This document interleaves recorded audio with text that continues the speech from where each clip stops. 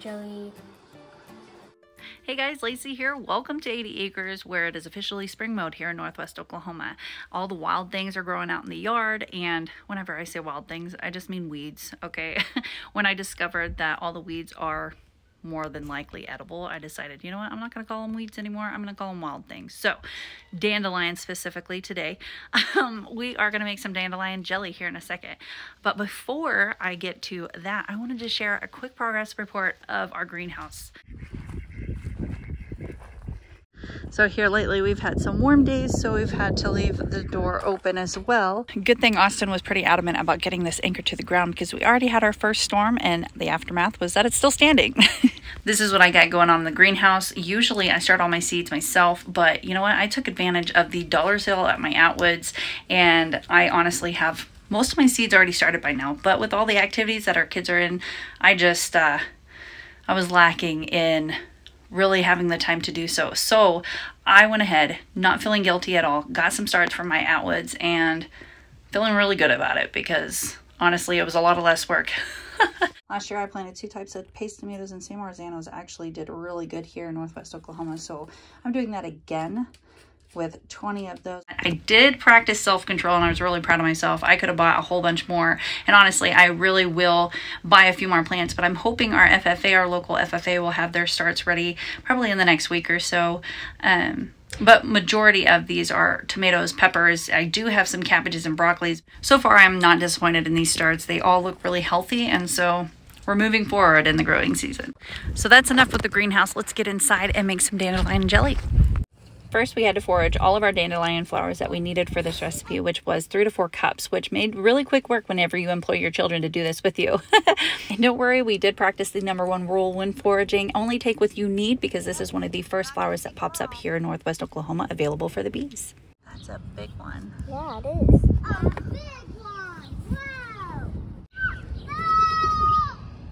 In order to make jelly, we have to make a dandelion tea first with these dainty little petals. Yes, we have to pluck all the little petals out of these flowers. It is tedious work, but honestly, if you just roll and pinch at the same time, it does the trick just fine. We started out with three cups of flowers and we ended up with two cups of petals. Now pour boiling hot water into the quart jar all the way to the top and simmer for about 24 hours. And that's how you make dandelion tea. No, I'm not one to be wasteful, so I'm going to actually put my dandelion scraps into a pint jar and fill it up with alcohol and to cover for one to three months, which will be used for a tincture because did you know it actually provides a lot of antioxidants? Now let's get down to making jelly after 24 hours of letting it sit.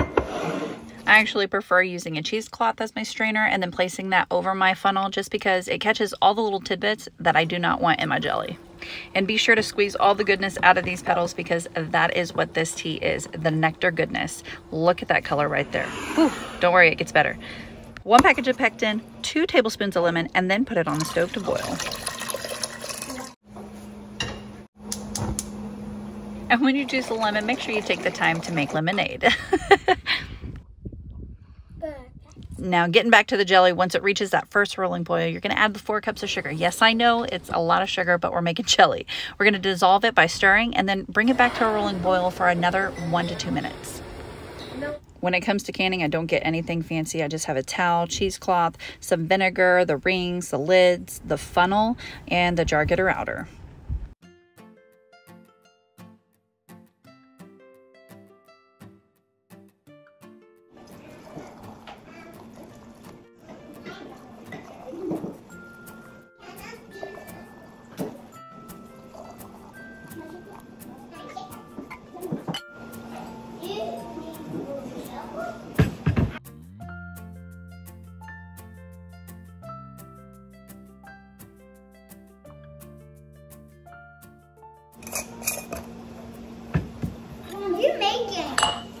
Dandelion jelly.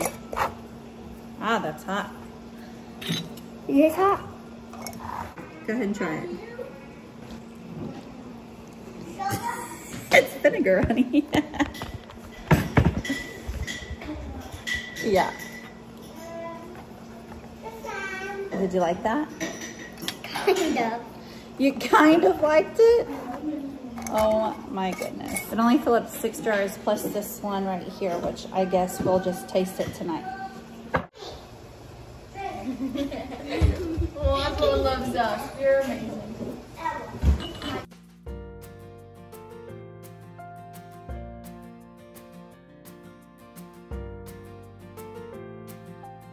And that's all there really is to it. I hope you enjoyed this, and if you did, like and subscribe, and we'll catch you in the next one. Bye.